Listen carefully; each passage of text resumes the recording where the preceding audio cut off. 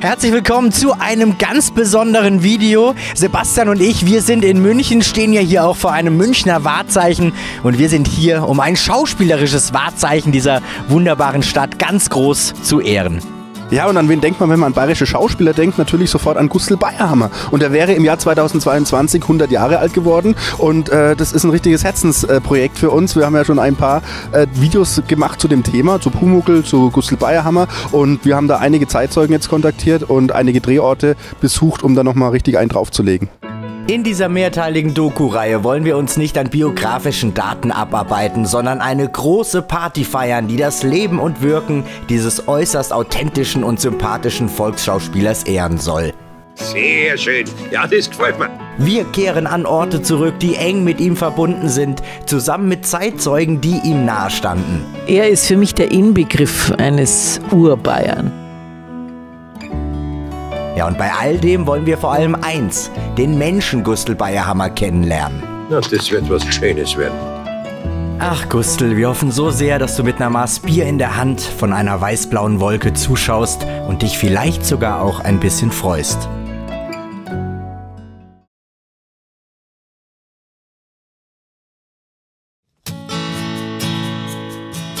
Es war ein tolles Klassentreffen am Wiener Platz in München mit vielen tollen Menschen und alten Weggefährten des, wie man ihn so schön nennt, bayerischen Urvaters. Ganz besonders herrlich ist natürlich diese Szene, wo Schauspielkollege Hans Stadelbauer den Gustl rezitiert. Es war eine liebe Zeit. Die gute alte Zeit, vor Anno 14 gleich gar. Damals regierte noch seine königliche Hoheit der Prinzregent. Ein kunstsinniger Monarch. Denn der König war schwermütig. Das Bier war noch dunkel, die Burschen schneidig, die Madern sitzsam. Und die Honoratioren ein bisschen vornehm und ein bisschen leger. Es war halt vieles noch in Ordnung damals in Bayern, weil für die Ordnung sorgte die Gendarmerie und für die Gerechtigkeit Das königliche Amtsgericht. Ja, ist das denn der Hans Stadelbauer, der wieder am Start ist? Ja, lecko funny, ey. Mega geil. Er ist einfach der geilste Typ. Der hat ja, jetzt mal ohne Witz, du hast ja überall mitgespielt. Ja. Überall. Das hat ja, wo man angefangen. reinguckt. Wo ja, man wo reinguckt, man reinguckt. Weil, Erzähl doch mal was auf. bei dir denn los? 1900, Anfang der 70er Jahre. Aber dann sofort richtig. und dann durchgehend, Ja, durchgehend, durchgehend. Ja, Überall. Ich habe neulich Schwarzwaldklinik zu Hause bei meinen Eltern. Der, der ist doch der Stadelbauer. Was macht der denn schon wieder da? Das ist unglaublich. Dritte Folge, dritte Folge. ja, ja. Polizist was? Ja, ja, ja. Monaco, Franze, Pumuckel, Das war die erste Szene überhaupt. Äh, in Bogenhausen, Mauerkirchner Straße, kommt der, äh, der Monaco Franzi mit dem Camaro runtergefahren. Ich als Polizist, stopp, er fuhr Schlangenlinie, stopp, haben Sie was getrunken? Na freilich, warum? Ich meine Alkohol. Ja freilich Alkohol. Wie viel denn? Mei. Und dann erzählt er auf, eine solche Litanei, was er alles getrunken hat. Und mein Kommentar war nur ein, ein Blick zu, zu, meinem, zu meinem Kollegen hin, so, so ja, ja. was der wir denn mit dem? genau, genau. Großartig, großartig. Und natürlich kennst du auch den Menschen, um den es heute geht, dem wir ja heute ein filmisches Denkmal setzen wollen. Den kennst du ja auch gut. Ja, sehr gut sogar, Ja, weil er, war wirklich ein, ein Mentor für mich damals. Ich war ein junger Kerl, hab mm, ja, angefangen und so. Und der, der Gustl hat immer gesagt, er bot mir dann das Du auch an. Das, ich habe immer Herr Bayerhammer, Herr Bayerhammer. Nein, nein, sagt ich bin der Gustl vor der Kamera, sind wir alle per Du. Und dann hat er gesagt, also pass auf, Bulli, Bulli hat er gesagt, so, du musst, musst zuschauen und zuhören. Da lernst du so viel, da brauchst du nichts mehr anderes. Schau zu. Und das habe ich auch gemacht. Und äh, ich hatte dann ähm, das Glück, ja, zweimal oder dreimal mit dem Gustl zu drehen. Einmal Weißblaue Geschichten, dieser Landvermesser, dann noch einmal, weiß aber nicht mehr genau, was das war. Und dann vor allen Dingen noch beim Pumuckl. Ich war ja sein Briefträger, also ich brachte immer die Post in die Werkstatt und auf Weihnachten brachte ich ihm auch ein Backel und habe ich gemeint, es gibt dann ein Weihnachtstrinkgeld, weil ich, nein, er hat gesagt, ja gut, ja gut, danke schön, danke schön, hat er gesagt. Und dann hat sich umgedreht, die Tür zugehaut und durch den Schlag der Tür ist vom Vordach der Schnee runtergerutscht.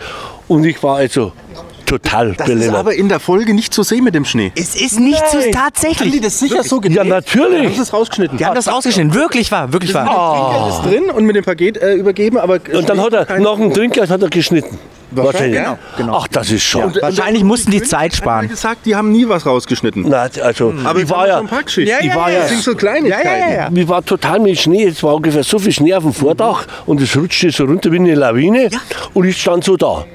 Und das ist ja auch eine tolle Szene eigentlich. Warum schneidet man die raus? Das gibt's doch überhaupt nicht. Vielleicht haben sie es woanders verwendet. Vielleicht, da gibt es doch den Film Die Lawine. Vielleicht haben sie da die Szene reingeschnitten.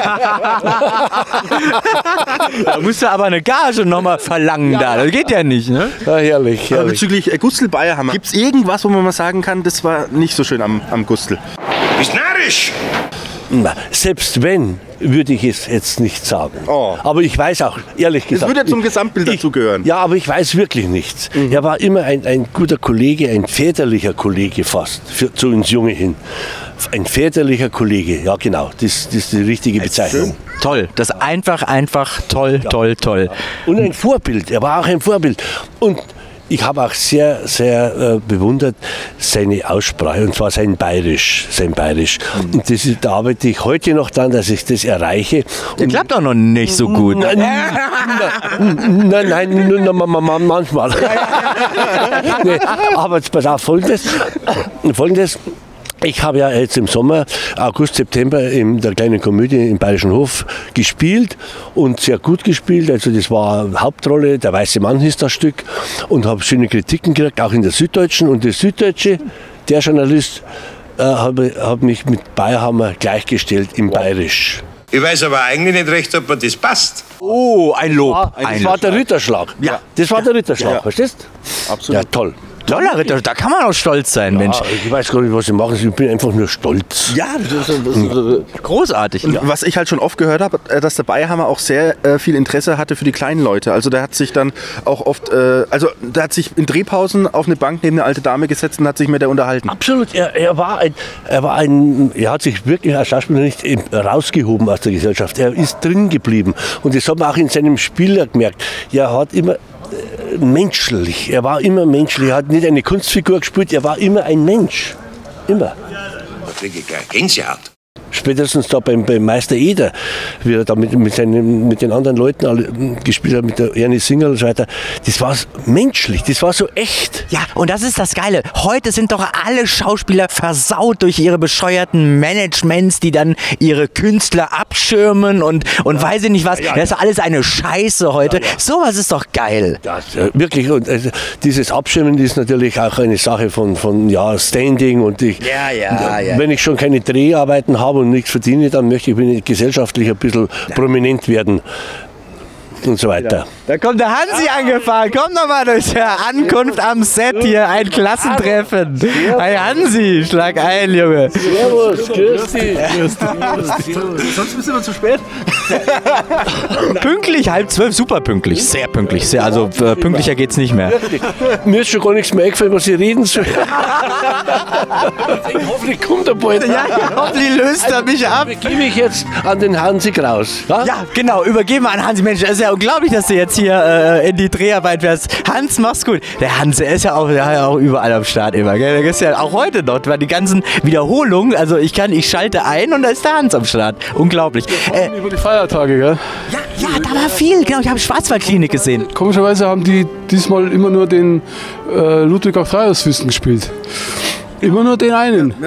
Also, Aber jetzt muss man Schnitt machen. Das war's jetzt. Ja, wir machen einen Schnitt. Wir drehen ja eh noch ein extra Interview mit dem Hansi, aber es ist so ein tolles Klassentreffen. Hier, da hinten stehen sie auch noch. Alle schwenken mal rüber. Da hinten stehen sie alle. Da geht auch keiner nach Hause. Ne? Die bleiben alle hier und wollen noch weiter hier gucken. Das ist einfach echt schön und das ist wirklich was, was sehr, sehr Besonderes einfach. Geil, hat man auch nicht alle Tage. Du hattest ja eine Serie mit dem Herrn Bayerhammer gedreht, die man gar nicht so kennt, die irgendwie ziemlich in Vergessenheit geraten ist, die auch, glaube ich, nur einmal ausgestrahlt worden ist. Die heißt Die wird jetzt aber veröffentlicht zum 100. Geburtstag von PIDAX, der, der Bürgermeister. Gerät du nicht so einen Schmarrn daher.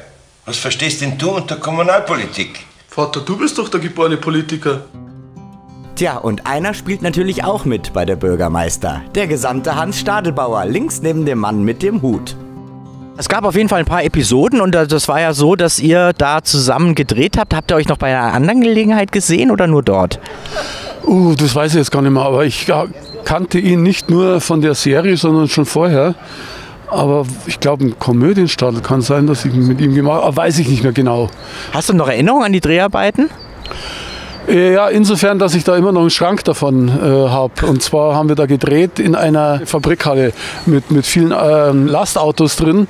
Die Firma hat ähm, die Müllabfuhr damals in, in der Gegend organisiert.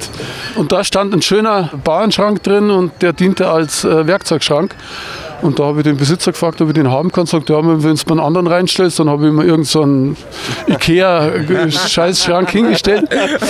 Und er war Und- zufrieden. Und der war zufrieden und ich habe mir den anderen hergerichtet und, und abgebeizt und der steht heute noch bei mir im Zimmer. Ja, das ist doch toll, das ist doch cool. Ist es da, wo deine Technik drin steht?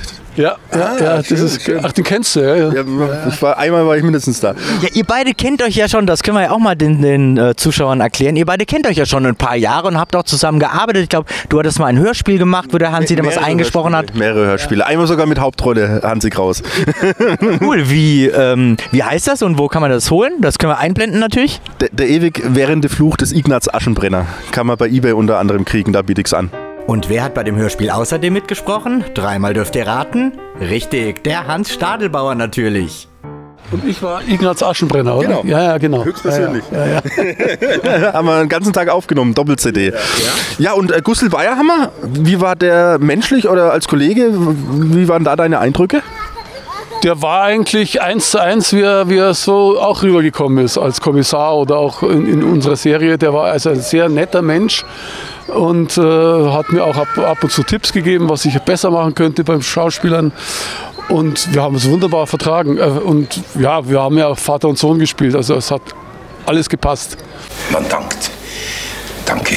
Also ein Anti-Peter Alexander quasi. Ne? Mit dem kamst du ja nicht so gut klar. Der war ja was spezieller. kam er, klar kam Ja, ja, ich, ich musste mit ihm klarkommen. Ja. Ja. Und das ist schlimm, wenn man sowas dann, oh, je, je, da ist man dann froh, wenn die Tage vorbei sind. Gell? Aber ist ja schön, dass an den Herrn Bayerhammer dann nur positive Erinnerungen da sind. Oder gibt es irgendwelche Geschichten oder irgendeine.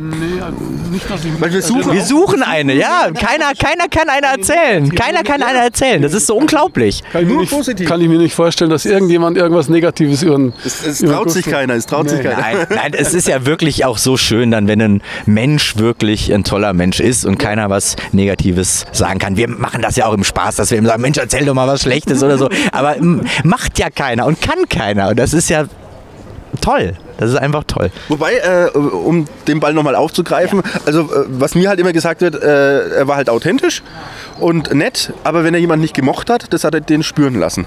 Was ja auch authentisch und nett ist in gewisser Weise. Total, total. Ja, mich, weil mich hat ist er schön. nicht, nicht spüren lassen. Sehr gut, sehr gut. Geil, ein richtig gut erhaltenes Pumuckl-Drehbuch. Ha, Das würde ich mir am liebsten stibitzen.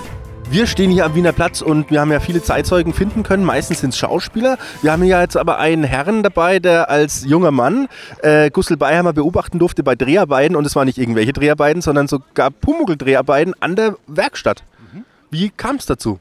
Ganz einfach, ich war damals, ich komme aus Freising, bin der Wolfgang Schnetz, war damals zarte 17 Jahre alt oder 18 und war Redakteur in Anführungsstrichen beim damaligen Domreport. Das war die Schülerzeitung unsere, unseres Gymnasiums. Und wir haben ja auch fünfte, sechste Klassen gehabt und damals war Pumuckl gerade in aller Munde. Die erste Staffel war gerade abgedreht. Man hat gehört, es wird eine zweite Staffel gedreht. Es wurde auch viel Geheimnis drum gemacht, wo diese Werkstatt war. Keiner hat es gewusst. Ich wusste es damals schon. Und haben gesagt, vielleicht bekommen wir doch irgendwie die Möglichkeit über die Infafilm, dass wir uns den Pumuckl, die Pumuckl-Dreharbeiten anschauen können. Und dann haben wir damals ganz hochoffiziell einen Tag frei bekommen vom Domgymnasium, aber erst nach einer von der ähm, Monika Hohlmeier unterschriebenen Ausnahmegenehmigung des Bayerischen Kultusministeriums, dass wir das auch dürfen, dass wir einen Tag schulfrei hatten.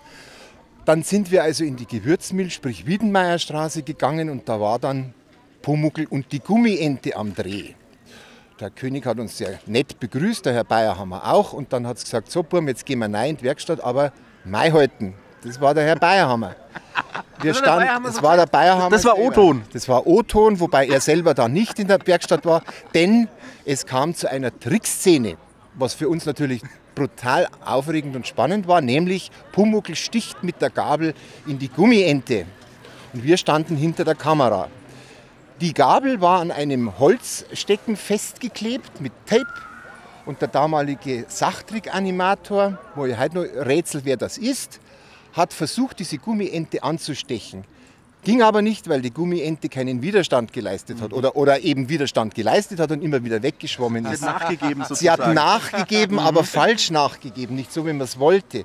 Dann wurde das Ganze für eine Stunde etwa unterbrochen und plötzlich kam der Requisiteur wieder mit einer Spraydose und wir wussten jetzt nicht, was das war. Wir haben dann damals erfahren, es war ein Bunsenbrenner aus der Dose. Der wurde dann angefackelt und die äh, Gabel wurde glühend gemacht, jedenfalls heiß. Und dann schmolz sich die Gabel aufs erste Mal in die Ente. Und das war auch gut so, weil uns dann der Herr König damals verraten hat, wir hatten nur eine Ente. Also wenn diese Ente jetzt irgendwie blöd ihre Luft verloren hätte, dann hätte man vielleicht wieder eine Stunde warten müssen, wobei ich nicht weiß, wo die Ente her war. Und dann war es so, dann gab es ein paar Szenen mit dem Herrn Bayerhammer und er hat gesagt, ich habe es euch schon gesagt, Mund halten, ja nichts sagen. Dann wäre ich beizig. Dann haben wir gesagt, gut, beizig heißt also für die Nicht-Bayern, dann wäre also unangenehm. Aber er war es nicht. Er, er war nett. nicht, weil wir unseren Mund gehalten haben. Wir haben eher geschwitzt. Es war ein sehr, sehr heißer Tag damals. Es muss also Juni, Juli gewesen sein. Ich war damals noch in der 11. Klasse vor den Sommerferien. In welchem Jahr? 1984. Das ist auch so ein Thema. Es in Wikipedia und in, in, äh, in anderen Social Media steht drin, es wäre 85 gedreht worden. Das war es 100% nicht. Es war also, ich war in der 11. Das war kurz vor den Sommerferien, kam dann September, 2, ähm, September 84 dann in die 12. Klasse. Ab da hätten wir keine Ausnahmegenehmigung mehr bekommen. Äh, Und dann war eben das abgedreht und dann gingen wir raus in den Hof und dann haben wir gedacht, ja was ist jetzt? Burschen bleibt's da, es gibt Würst. Und dann wurden Bierbänke aufgestellt und ein großer Topf. Dann haben wir sind wir gefragt worden, wollen wir Weißwürste oder Wiener. Dann haben wir Weißwürste und Wiener bekommen, die Buben. Und dann hat er sich also ganz rustikal und ganz nett mit uns unterhalten. Also Der Bayerhammer. Der Bayerhammer, er hat auch, dann kam die Frau Gläser noch dazu, die Helga Gläser, die damals die Maskenbildnerin war. Und auch damals noch wurde das sogenannte Zinkweiß eingesetzt. Denn er war zwar schon älter als in, den, in der ersten Staffel, aber jetzt musste die zweite Staffel an die erste Staffel angeglichen werden. Und so weiß wie damals war er eben auch da noch nicht. Also die Haare. Die Haare, er, hatte noch recht.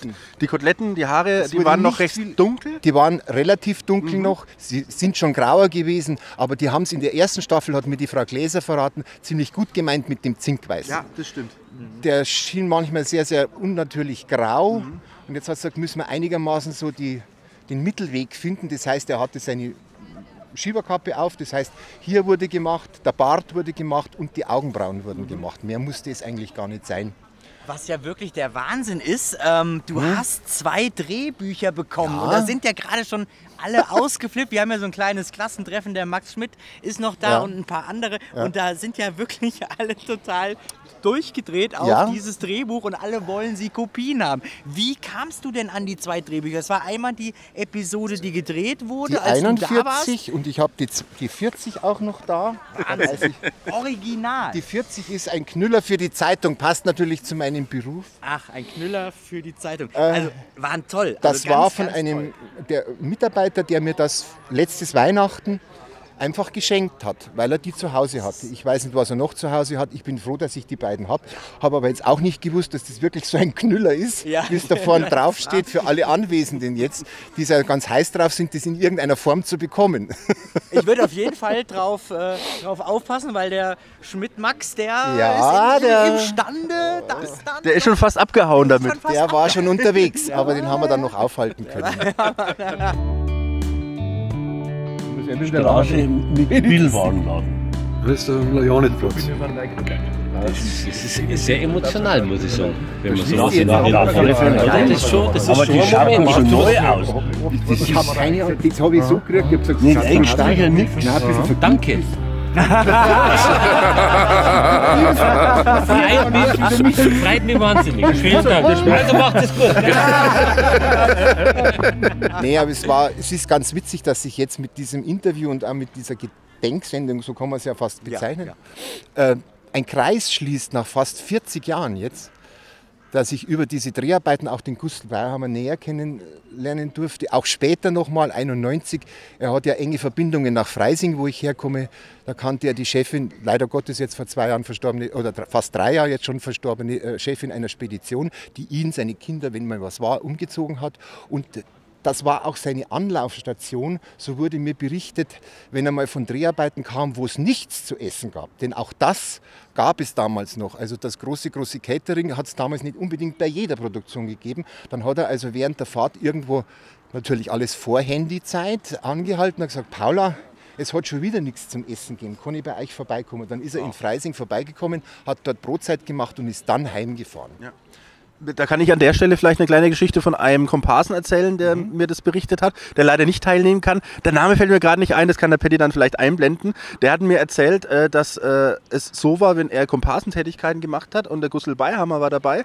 hat der Bayhammer immer dafür gesorgt oder ab und zu dafür gesorgt, dass auch die Komparsen zum Catering dürfen. Richtig. Weil das war eigentlich nur für ja. die Schauspieler und fürs Team ja. gedacht. Und da war der Bayhammer immer sehr nett zu den Komparsen und Statisten und die kleinen Leute am Set und hat sich auch gern mit denen zusammengesetzt. Ja, das stimmt. Das deckt sich auch mit dem, was ich eben in diesem Sommer 84 äh, erfahren habe. Da hat er gesagt, Burm, ihr geht jetzt nicht weg, ohne dass ihr was esst. Ihr setzt euch jetzt da mit uns dazu. Und das war ja kein großes Team. An dem Tag war nur er da und das technische Team, der Drehstab, mehr war ja da nicht da. Und da äh, entspannen sich eben da schöne, schöne Gespräche damit. Und auch 91, wie ich ihn dann zum 50. Geburtstag seiner Bekannten Paula Weber-Schäfer bei uns im Landkreis äh, ähm, nochmal sehen durfte. Ich gesagt, kennen Sie mich noch? Hat er gesagt, nein, ich kenne die nicht.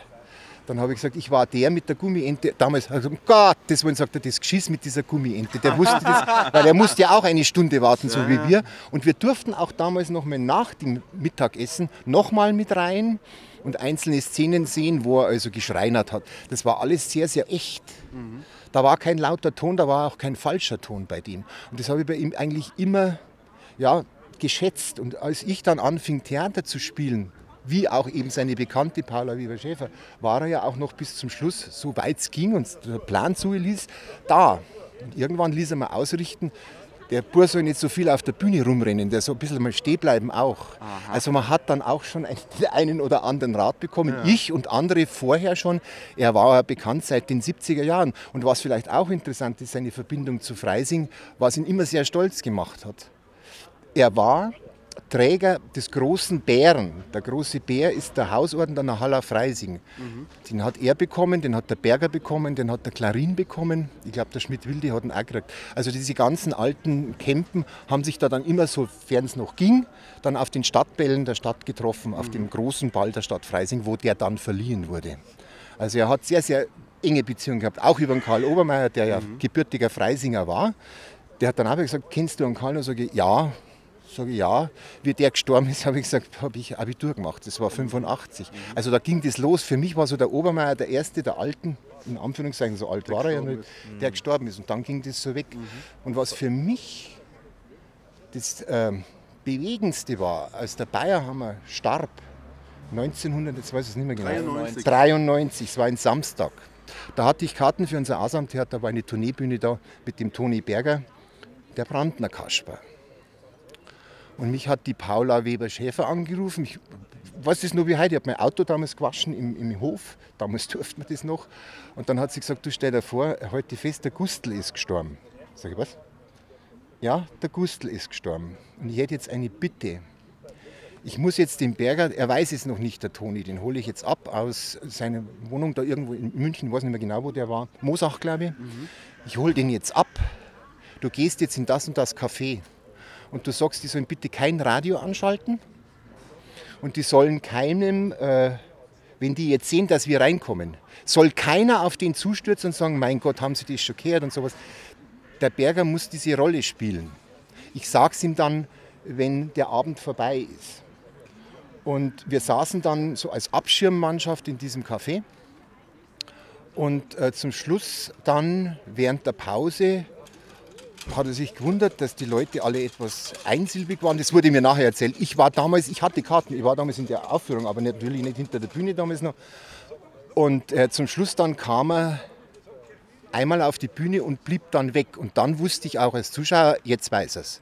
Boah, das waren echt ganz schön viele Informationen ja. von einem Normalsterblichen, wenn ich das so sagen ja, darf. Kein toll, Kollege von Gustl Bayerhammer, sondern ein normaler Zeitzeuge. Und gerade die Geschichten sind ja besonders interessant, weil das ein anderer Blickwinkel ist als mhm. bei äh, äh, Kollegen, die auf einer äh, Ebene mit Bayerhammer agiert haben. Mhm. Von daher vielen Dank für die bitte, Geschichten. Bitte. Und äh, mal. Ich sage auch danke. Es war höchst interessant. Wie gesagt, es schließt sich ein Kreis jetzt bei mir bei, nach fast 40 Jahren. Von 84 jetzt bis 2022. Noch eine Frage. Kann ich dem Max Schmidt die Drehbücher äh, zurückgeben? Nee, eins. Das zweite, das zweite, das zweite, das zweite krieg ich. Das zweite ich hol's mir dann wieder von ihm. Er bekommt es in digitaler Form sicherlich von mir. so, an diesem Obststandel aus Pumuckel geht's jetzt weiter. Und der nächste Zeitzeuge ist am Start. Es ist Max Schmidt, besser bekannt als Schmidt-Max. Wie Bayerhammer ist auch er ein bayerisches Original. Er moderiert unter anderem seit 2003 die Sendung Freizeit im Bayerischen Rundfunk und spielt Rollen in Serien und Filmen. Im August 2012, da wurde er sogar am Set von Hattinger der Chiemsee-Krimi gebaldwinnt.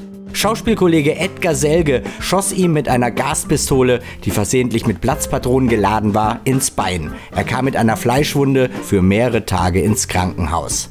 Aber eins ist mir noch nicht ganz klar. Warum eigentlich Schmidt-Max? Ah ja, ich glaube, dass das so die bayerische Aussprache ist. Äh, Schmidt-Max, mein, mein, mein, Vater war Schmidt-Max, mein, mein Opa war Schmidt-Max, mein Urgroßopa war Schmidt-Max. Also das hat sich so, man hat sich drauf gewohnt an Schmidt-Max. Wie habt ihr euch denn unterschieden dann? Wenn so ein Hals Schmidt-Max, haben ja zehn Leute, ja, gerufen. Sowas. genau sowas. Ja, wir haben ja ganz viele Zeitzeugen äh, beibringen können für unser Projekt und äh, ich habe gedacht, es wäre vielleicht mal interessant, einen nachgeborenen äh, bayerischen Schauspieler äh, äh, hier auch mal dabei zu haben, was der zum Gustl Bayerhammer sagt, äh, wie er ihn erlebt hat und wie er Bayerhammer in der Nachbetrachtung einschätzt fürs bayerische Fach, sage ich mal. Ich glaube, dass man ähm, das, also gut, da muss ich es noch denken, aber ich glaube, dass man das Fach Volksschauspiel um den Bayerhammer drumherum gebaut hat. Also er war schon einer der ganz großen ähm, äh, Volksschauspieler, der hatte eine unglaubliche Präsenz, der hatte im Prinzip all das, was man, glaube ich, als Münchner in einem Münchner oder einem Bayer sehen will. Ja? Und das war für mich der Bayerhammer. Ruhig, gelassen, souverän, eine gute Stimme, tolle Ausstrahlung, eine kraftvolle Spielart, äh, ganz weich, zart aber auch. Also ich, der, hat alles verkörpert. Ich weiß nicht mehr, was ich denken soll. Ich bin ganz durcheinander. Und trotzdem authentisch. Weil es gibt ja auch einen Sedelmeier und da weiß man, da war jetzt ein bisschen schwierig dann vor Ort. Also der, der Bayerhammer war grunddurch menschlich. Von Sedelmeier höre ich auch schöne Geschichten, aber er konnte halt auch anders. In meiner Wohnung schrei ich so laut ich mag. Ich schrei, weil ich recht habe und außerdem schrei ich nicht. Ja, haben wir denn nichts anderes zu tun? Hab ich dir nicht gesagt? Dass wir ganz vorsichtig miteinander umgehen wollen, gell, Papa? Bayerhammer konnte auch anders, aber das hat dann immer seinen Grund gehabt. Sie bringen mich ganz durcheinander wie im Gequatsche. Also für mich war Sedelmeier Schauspieler. Mhm. Ohne Zweifel ein ganz großer. Ja. Und Bayerhammer war Bayerhammer. Ich hatte nie das Gefühl, der spielt mir was vor. Mhm. Der war es immer. So. Genau. Und das war, das war so der, der, der, der, der große Blick auf ihn. Ähm, extrem authentisch. Mhm das war einer von uns.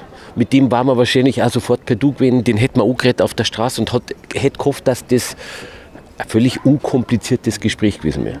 So. Ich kann eine Anekdote mal erzählen, die äh, dazu ganz gut passt. Ich habe äh, Drehaufführungen lange Zeit gemacht und da hat mir eine Frau mal erzählt, dass sie als kleines Kind im Biergarten war. Die war so drei, vier Jahre, ist da rumgetapselt und irgendwo saß da der Gustl Bayerhammer am, äh, am Biertisch, hat seine Mass in der Hand gehabt, hat gerade getrunken und die Kleine ist dann zu ihm hin und hat gemeint, du, äh, bist du der Meister Eder, wo ist denn der Pumuckel? Und da hat er noch so abgesetzt, hat noch so äh, Bart abgewischt und hat gesagt, weißt du, der sitzt jetzt in der Werkstatt in der Schaukel und er schaukelt. Und da war die Kleine glücklich, ist weitergetapselt und er hat auch wieder seine Ruhe gehabt. Und ja, solche Geschichten höre ich halt immer wieder von ihm. Ja. Und das wird ihm ja wahrscheinlich öfters passiert sein, ja, ja. oder? Ja. Die Rolle Meister Eder, Parade. Ähm, das heißt, äh, wann ist äh, er dir eigentlich äh, das erste Mal begegnet als Schauspieler? Weißt du da noch was? War es vielleicht auch Pumuckl dann? Oder? Also er hatte ja schon eine große Präsenz auch im, im, im Fernsehen, also als Kommissar und so weiter. Man, es gab ja die üblichen verdächtigen Schauspieler, da war er ja immer dabei. Ähm, das erste Mal wirklich präsent war für mich, äh, war im Theater Borndelkramer Persönlich gesehen? Persönlich gesehen. Oh, wow. Ja, wirklich, eine, noch in der Stammbesetzung, mhm. also mit Toni Berger und Fritz Straßen. Also es war großartig, großartig. Er als Petrus, da war das erste Mal oh, toll. Theater mhm. ist ja nochmal ganz was anderes. Großartig, großartig. Und dann natürlich Pumuckl, klar. Fester Termin, Logo. Da ging es dann, da ging es in die DNA über, glaube ich. Dann. Welcher Jahrgang bist du nochmal? 68. 68, ja, ja doch. Jung. Da war Pumuckl in, äh, im Jung, Radio dann Jung. auch noch ein Thema. Ja. Bevor 1969 die Schallplatten erschienen, lief Pumuckel als Hörspielserie im Radio des Bayerischen Rundfunk. Von 1962 bis zu seinem Tod nur zwei Jahre später war Franz Fröhlich die erste Stimme von Meister Eder überhaupt. Ab 1965 übernahm dann Alfred Ponkratz. Als er 1977 starb, da kam erst Gustl Bayerhammer ins Spiel und der Rest ist, wie man abgedroschenerweise immer sagt, Geschichte. Ja, ich, bin mit Pumuckl insofern aufgewachsen, ähm, äh, mit Schallplatten, mhm. klar, Pongratz. Äh, klar, wo wurde mit Kirschlikör und so weiter, die, die, also man hat es ja gehört. Mhm. Ja. Ähm, und ich, ich finde, das war ja immer die Schwierigkeit, äh, letztendlich ähm, einen Nachfolger zu finden für etwas, der schon so im Gedächtnis ist. Und mit Bayerham war das selbstverständlich. Ich weiß noch, wie ich den das erste Mal als, als Meister Eder gesehen habe, war, es gab keine Fragen dazu. Es war alles klar. Ich habe früher, bin ich oft mit Pop nach acht eingeschlafen. Mhm. Thomas Gottschalk. Thomas Gottschalk, ja, ja. gerade sagen. Ganz genau. Das war eine Radiostimme. Als ich den das erste Mal gesehen habe, im Fernsehen, blonde, lange Haare, ich, ich, ich, ich, war, ich war so enttäuscht, weil ich hatte ein komplett anderes Bild. Wie? Wie hätte er aussehen sollen in deinem Kopf? Weiß ich nicht, aber nicht so. Ja, das weiß ich aber nicht so. Und bei, bei Meister Eder war klar, so ist er. Mhm. Genau das ist es. Mhm. Jetzt ist natürlich die große Frage, es könnte dir ja auch passieren, dass dich Leute auf eine Rolle ein bisschen festschreiben, weil du hast ja seit jetzt schon über zehn Jahren einen gigantischen Erfolg, vollkommen zurecht mit, mit den Eberhofer-Filmen, die ich ja auch abgöttisch liebe. Die finde ich ja wirklich großartig, aber da bin ich einer von Millionen, was ich ja eigentlich gar nicht sein will. Ne, ich stehe immer auf so Underground-Sachen und hier stehe ich jetzt auch mal auf etwas, was irgendwie alle mögen, was mich auch etwas ankotzt, muss ich sagen. Aber es ist insofern schön, dass es dann Hoffnung gibt, dass noch zehn Jahre mehr Filme gedreht werden und das ist halt wiederum auch klasse. Ähm, vielleicht ist es ja auch mal so, dass dich in 20 Jahren die Leute ansprechen, immer wieder darum, dann jetzt hört doch mal auf oder dass du dich dann irgendwann aufregst. So. Hast du da Angst vor oder glaubst du, du könntest damit entspannt umgehen, wenn man dich denn auf so eine Rolle festschreiben sollte? Naja, ich glaube, ah, ah, glaub, man wird nicht so schnell festgeschrieben. Ist klar, dafür so ist die Rolle. Aber, aber letztendlich ist es ja so, ähm, dass es das schon zehn Jahre gibt. Dafür kann ich ja nichts. Ja? Das ist heute so. Ähm, Normalerweise erledigt sich sowas nach ein paar Wiederholungen, weil der Erfolg wegbleibt. Jetzt hat das immer, immer mehr Erfolg. Ja, ja ähm, ich habe mit dem Uli König einmal geredet. Ja. ja. mit dem hatte ich ein paar Mal was zu tun, das ist der Regisseur von, von dem. Äh, ist ja klar. Ähm, habe gesagt, du, äh, es war ja jeder stolz, dabei gewesen zu sein. Mhm. Hat es denn auch welche gegeben, wo du danach irgendwie gemerkt hast, die, das hat die so maßlos geärgert, dass meinetwegen abgesagt haben oder von ihm nicht eingeladen wurden zum, zum Casting oder zum Mitspielen, sagt er, ja, da gab es da gab's etliche. Ja. Weil natürlich will man bei so einem Projekt dabei sein.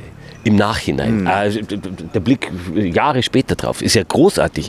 Macht einen doch stolz, oder? Also wie Monaco gibt es ja mehrere äh, Beispiele. Aber ja, dabei ja, zu sein bei sowas, wo hinten aus dann so eine, so eine Nachhaltigkeit erfährt, ja, ja, so eine Wucht und so eine Zeitlosigkeit erfährt, da will man doch dabei sein.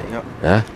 45 Jahre später quasi. Das ist doch Wahnsinn einfach, ne? dass das so lange hält. Man muss auch wirklich sagen, es sind halt dann Klassiker irgendwann. Also gerade Pumuckl, das ist wie Pippi Langstrumpf und wie dann auch weiterführend gesagt Grimms Märchen. Das ist einfach was, das kann man sich in 50 und 100 Jahren immer noch angucken. Und es hat einen, einen, einen, zeitlosen Wert. Und das ist, glaube ich, schon die Kunst, die auch der Uli König geschafft hat, weil ja. ihr habt gefragt, wie, wie hast du es letztendlich geschafft? Oder hast du darüber nachgedacht, das zeitlos zu machen? Mhm. Und er hat gesagt, ja, genau darüber habe ich nachgedacht. Also er hat wirklich versucht, Dinge, die die Zeit ganz besonders beschreiben, einfach auszulassen. Ach Wahnsinn, dann war das kein Zufall, sondern das war Planung. Das war schon Planung, ja. Also Autos ja? kommen ganz wenig vor bei Pumuckl. Genau, das ist der Und, Punkt. Äh, er hat keinen Fernseher zum Beispiel. Und ein Telefon gibt es ja in jeder Zeit sozusagen. Richtig. Also das könnte ja in den 50er Jahren spielen wie in den 90er Jahren und vielleicht sogar heute noch. Ja. Also weise Voraussicht vielleicht, ja. ich weiß nicht, ob es ja. letztendlich wichtig gewesen war, aber das sind schon so Gedanken, die man in so ein Projekt auch einfließen lassen kann. Ja Mensch, da habe ich doch glatt noch zwei schöne Links zwischen Gustl Bayerhammer und den Eberhofer Film gefunden. Der Eberhofer Hauptdarsteller Sebastian Betzel, der hat 1992 in dem Film Der Struppi ist weg an der Seite von Bayerhammer gespielt. Wer sind Sie? Wie kommen Sie herein? Wo ist mein Hund? Und der zweite Link ist der Hund. Der von Bayerhammer sieht dem aus den Eberhofer-Filmen ja irgendwie recht ähnlich, findet ihr nicht? Und war ja klar, der Hans Stadelbauer, der hat natürlich auch schon in einem Eberhofer-Film mitgespielt. Allerdings nicht lange. Zurück zum Wiener Platz, da meldet sich jetzt der Betreiber des Obststandels zu Wort. Der war ab und zu am Stammtisch von die Filzerbaum im Augustinerkeller. Und so wie er der Meister Eder war, so war er auch privat ein herzensguter, lieber Mensch. Das ist, das ist schön. Du hast ein Kind, oder?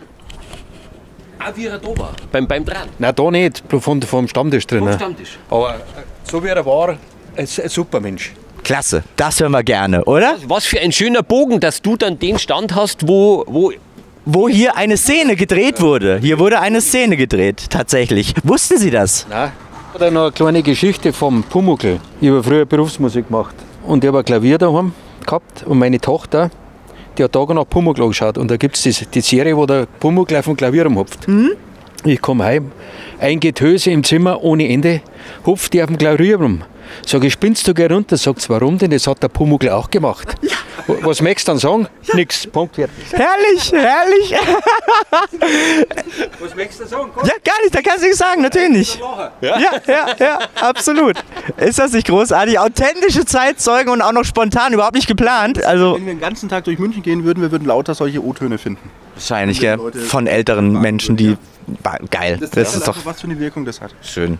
Ja, wie es verankert auch ist. Ja. Letztendlich. Es In ist der auch Kultur. wirklich. Ja, Ja, und auch in München verankert ist. Also muss man so sagen. Ja. Generationen. Generationsübergreifend. Ich muss jetzt noch mal eins sagen. Also die Qualität, die ein Bayer Hammer als Schauspieler hatte, diese ganzen Folgen wurden ja nachsynchronisiert.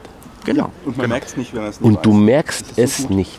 Weil Deutsch Also- auf Deutsch ist schwer zu synchronisieren. Die, die haben sozusagen, die saßen danach im Tonstudio und haben alles das nachgesprochen, was sie im Film gesagt haben. Also nur zur Erklärung.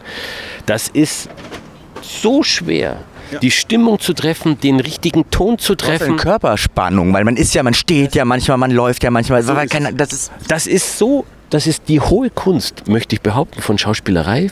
Ähm, und dann noch die schwierige Aufgabe zu haben, direkt neben Hans Klarin im Tonstudio zu sitzen, der den Pumuckl spricht und nicht zu lachen, ernst zu bleiben bei all diesem Wahnsinn, oder? Was sagst du? Ja, das haben sie bei Pumuckl ja versucht mit der Rosel Meier, mit der Alten. Ja. Die hat immer so, Mei, Ja. ist her. das war eh die geilste, war die geilste. Bevor sie gestorben ist, sie war schon jenseits von Gut und Böse und äh, die wollten aber mit ihr das synchronisieren, weil die Stimme kann man ja nicht so einfach nachmachen. Und da hat sie ihren Einsatz immer verpasst. Die hat immer irgendwas gesagt an der total falschen Stelle. Dann haben sie gesagt, gut Rosel, wir warten äh, jetzt ab, bis alle gesprochen haben und wenn du dran bist, stupsen wir dich an und dann sprichst du deinen Text. Und dann hat sie in der Zwischenzeit vergessen, dass sie diesen, äh, diese Sache ausgemacht haben. Dann haben sie sie angestupst und sie dann, hey, was schubst mich jetzt so? Oh. Und dann war die Szene schon wieder geschmissen. Roselmeier ist auch so ein Ding, das ist der Er Wahnsinn. hat sich synchronisiert, weil er sich so gut nachmachen konnte. Echt? Da hat sie bei, bei Polizeiinspektion 1 hinter, der, äh, hinter den, der Kameras hat er sie äh, nur in ihrer Sprache immer angesprochen. Mei, Rosel, wie geht's? Und dann haben die beide sich ernsthaft in der Stimmlage unterhalten. Den kenne ich.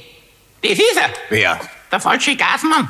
Sie erlauben Sie mal, gell? Ich bin ein Schreiner. Hier vor der Außenfassade von Meister Eders Stammkneipe geht's weiter mit unserem letzten Interviewgast für heute. Kurt Rauscher steht neben mir, ein absolutes Original. Hallo Kurt, toll, dass du da bist. Ja, freut mich auch, hier zu sein. Macht mich auch ein bisschen stolz. Oh, da freuen wir uns auf jeden Fall. Sag mal, wie ist denn deine Verbindung zu Gustl Bayhammer? Also es hat eigentlich angefangen, dass ich in einem Studiobetrieb äh, gearbeitet habe. Dann haben wir ein Motiv eingerichtet hier in Heidhausen. Und dann sagt mein Kollege, der Herbert Schmidt, war das ein Beleuchter, sagt, jetzt gehen wir mal davor, machen wir Brotzeit. Dann, gehen- dann, dann gehen wir vor, ich weiß nicht mehr, wo das war, Weißenburger Platz oder so. Dann haben sie da auch gedreht. Nämlich am Pumuckl. Und der Gustl Bayerhammer steht hier draußen, sieht den Herbert und sagt, ja Herbert, was machst denn du da? Sagt er, ja, die Besucher. Schön. Gibt er mir die Hand und er sagt, Servus, ich bin der Gustl. Und sage ich, ja, und ich bin der Kurt. Und so habt ihr euch Haben kennengelernt. uns kennengelernt, ja gut, war jetzt nichts Großartiges. Und später dann äh, hatte ich die Ehre für Pumuckl und der blaue Klabauter ein Szenenbild zu machen. Und da haben wir dann zum ersten Mal richtig zusammen äh, gearbeitet. Zusammengearbeitet. Das war dann aber ja einige Jahre später, ne? Ja, das war ein, 91. 91, genau. ja, Ja. 91. Weil er kam erst 94 in die Kinos, aber 91 haben sie gedreht. Genau. Und äh, war das dann ein bisschen enger dann mit dem Bayerhammer und wie, wie, war- wie Na, waren so eng war das dann nicht mehr. Der hat drei Drehtage gehabt. Mhm. Ne? Und dann waren wir in der Wohnung vom Horst Schier. Mhm. Da haben wir äh, ein Motiv gehabt, wo Bett gelegen ist und der Pumuckl, ich muss nach Au, nach Passau, nach, Mhm. in Wachau. Und, Aber der hat sich da schon ein bisschen äh, zurückgezogen. Ja, das äh, war nach seinem ersten Herzinfarkt. Ja, genau. Und da hat man auch schon gesehen gehabt, der, der hat schon abgebaut gehabt. Und das war ja auch der Film, äh, wo er gestorben ist, bevor er sich selbst synchronisieren konnte. Und dann wurde er äh, von äh, Wolf Aqua, heißt er, glaube ich, Äh, synchronisiert. Euber. Euber. Wolf Euber. Wolf Euber. Und der hat ihn das dann synchronisiert. Und das, äh, er ist auch ein guter Schauspieler, aber halt einen Bayerhammer zu synchronisieren mit einer anderen Stimme, das, äh, das kann keiner. Ja, eine große Aufgabe. Das ist eine sehr große Aufgabe. Also, wenn das so ist, dann geh halt. Bitteschön, Kinder gingen auch irgendwann aus dem Haus. Warum soll das bei Kobolden anders sein? Und so Bayerhammer menschlich, äh, Ich habe den geliebt. Ja. Ich habe den geliebt. Das war so ein herzlicher und ein grundehrlicher Mensch. Na, also wenn er was gesagt hat, dann hat er es auch schon gemeint. Ja, super. Wir hören aber nur positive Sachen über Bayerhammer und wir sind auf der Suche. Ja, man alle mengen. Ja, wir sind auf der Suche nach irgendwas, wo man sagen kann, das war nicht so schön. Gibt's nicht. Da, da fällt mir nichts ein. Mei. Das ist so herrlich, oder? Ich liebe das. Endlich mal ein Mensch, der vor der Kamera der Wahnsinn ist und hinter der Kamera auch. Das gibt's nicht oft. Wir sind noch nicht fertig. Vielleicht finden wir noch jemanden, der was sagt. Ah, wer weiß, was da noch alles so ans Tageslicht kommt. Du hast absolut recht, Sebastian. Wir stehen erst am Anfang. Wir haben noch einige Zeitzeugen-Interviews geplant und das wird natürlich äh, noch sehr spannend, welche Stories da noch ans Tageslicht kommen. Ne? Herzlichen Dank auf jeden Fall an den Kurt. Herzlichen Dank. Ich bedanke mich. Aber eine Sache verstehe ich nicht. Vielleicht habe ich auch nur was übersehen, aber Hans Stadelbauer scheint nicht bei Pumuckel und der blaue Klabauter mitzuspielen. Das gibt's doch nicht. Boah, ein richtig genialer erster Drehtag geht zu Ende. Vielen, vielen herzlichen Dank an alle, die beteiligt waren. Im zweiten Teil geht's weiter mit tollen Menschen. Wir besuchen Esteban Kleist und seine Frau Almut. Esteban war Innenrequisiteur bei Pumuckel und sogar auch mal vor der Kamera zu sehen. Außerdem war er für die analogen Special Effects zuständig, wie ihr hier auf seltenen Making-of-Aufnahmen sehen könnt. Wir treffen auch das kleine Hannal aus der Pumuckl-Folge mit dem Wollpullover. Niki Ammann hat noch viele Erinnerungen und erzählt uns lebhaft davon. Wir hoffen, ihr seid beim zweiten Teil wieder dabei. Bis dahin, Fürti!